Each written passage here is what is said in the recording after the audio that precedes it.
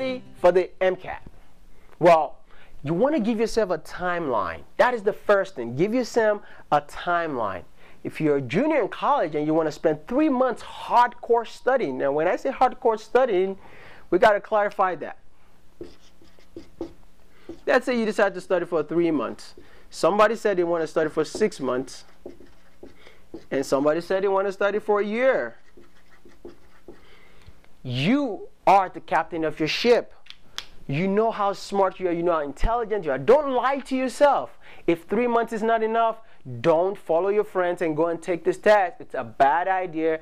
If you need six months to study, put in that hard work of six months. It's gonna pay off. And if you need a year because you're working, you're a nurse, or you have other jobs and you try to balance everything, give yourself more time. Because the more time you have and the more dedication you have, the more likely you're gonna do well on the exam.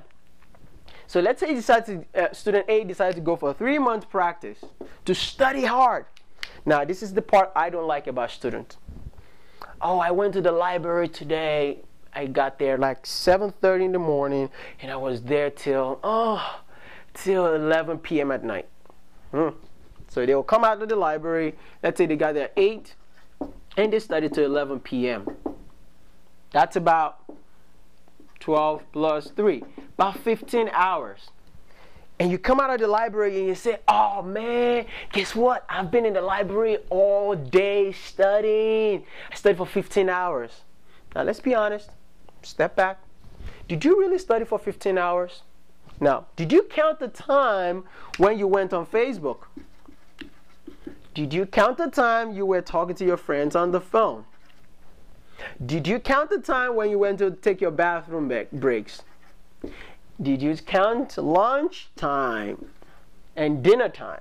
Did you count the time when you went on Twitter, when you were checking your email, even when you took a nap in the library? So I want you to be realistic. When you're going in the morning and you try to study all day, you want to study.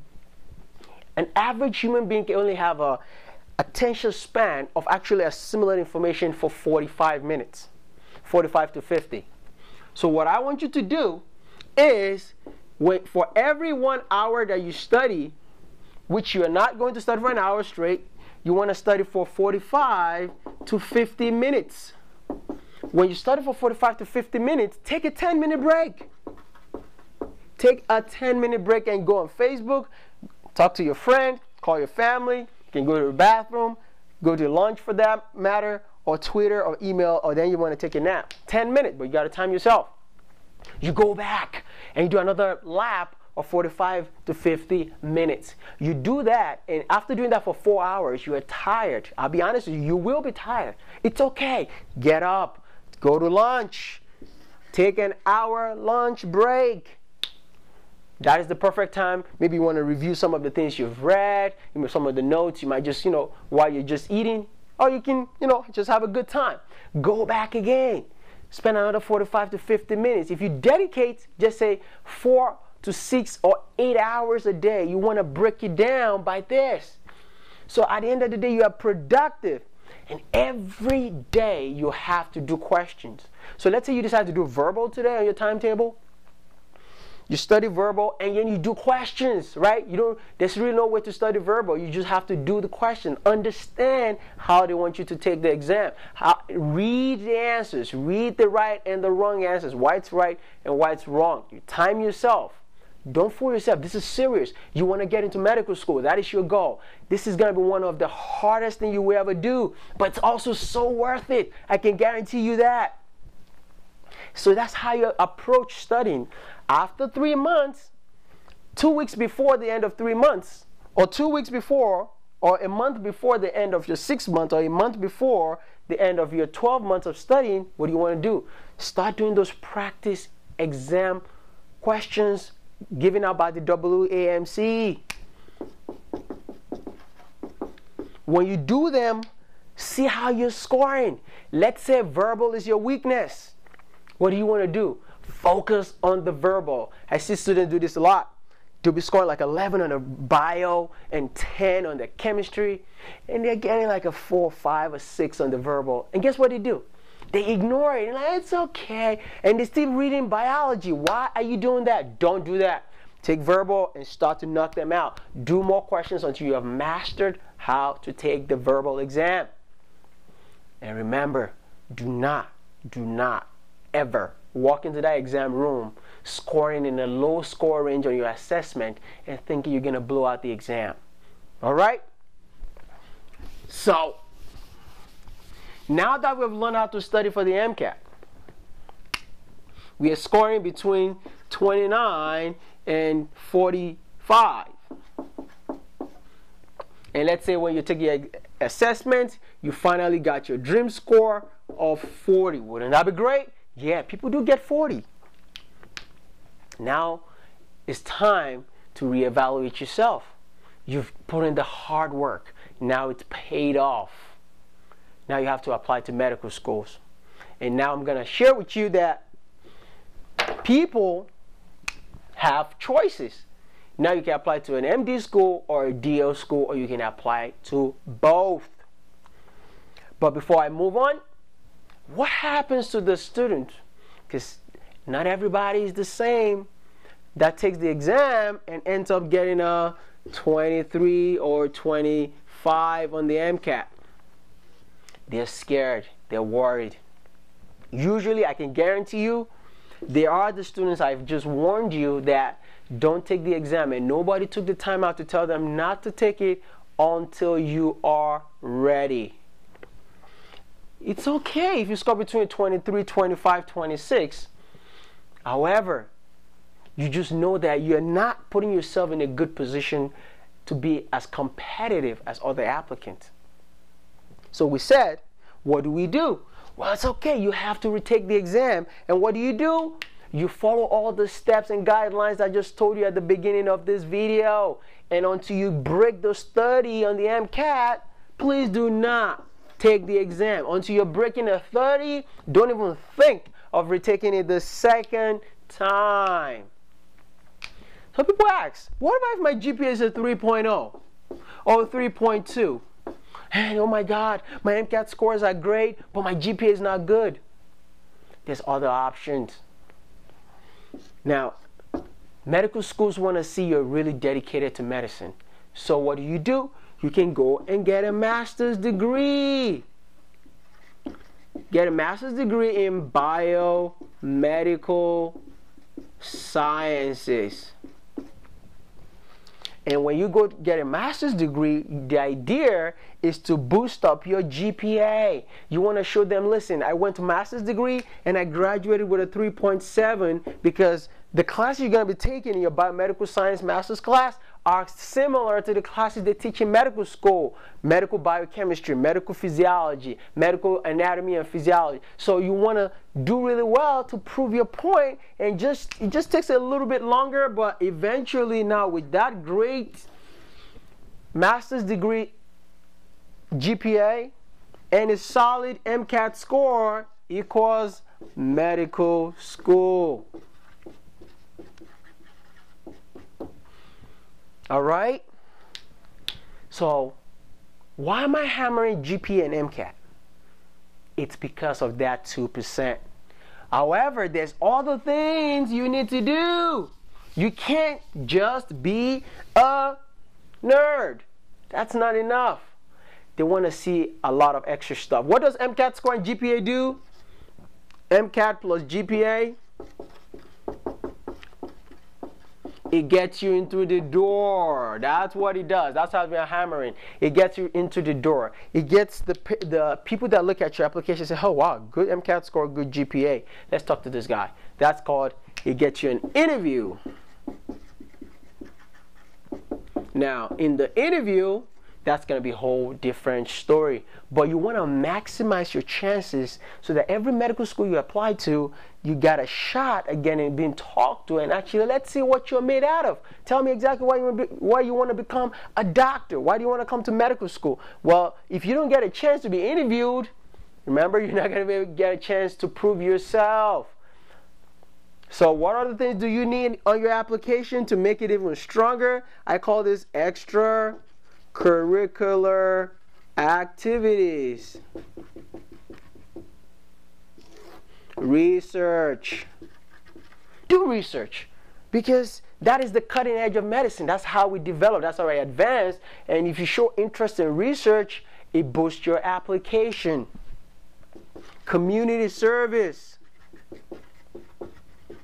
What kind of community service? Serving your church, serving the neighborhood, homeless people, give back. Because that's what doctors do. We give back to the community, we serve the community.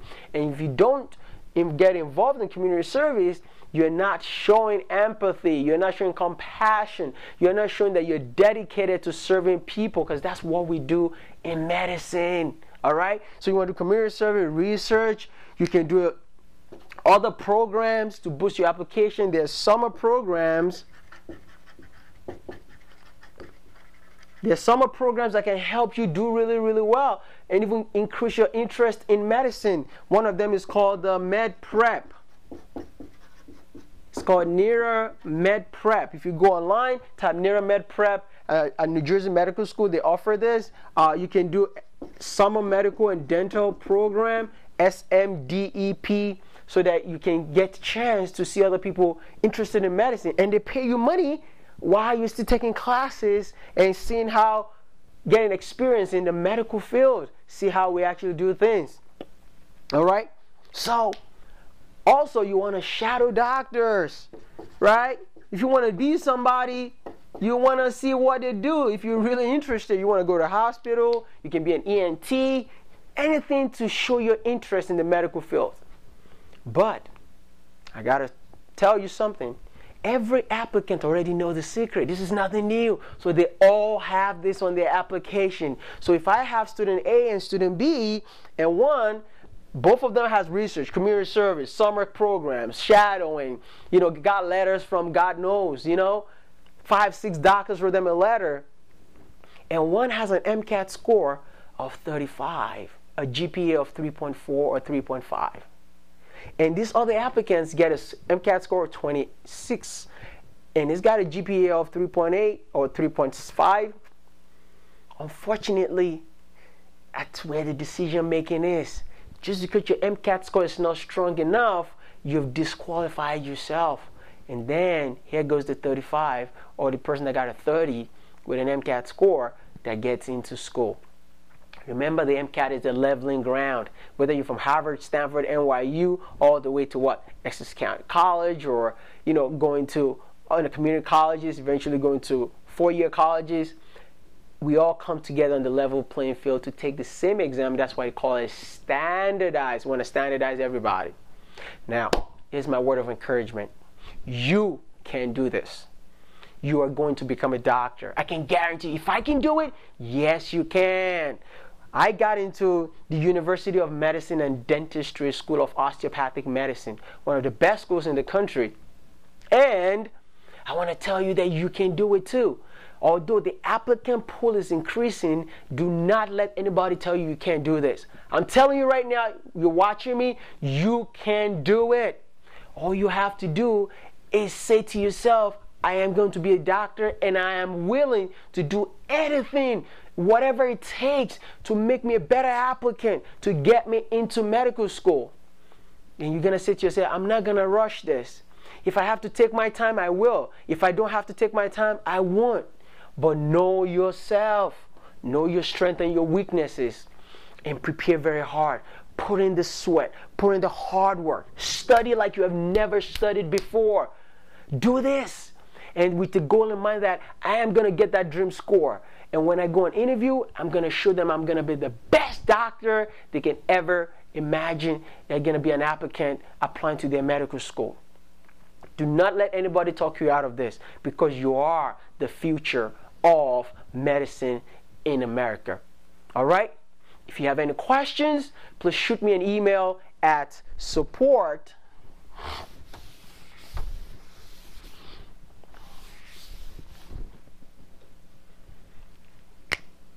support at ftplectures.com.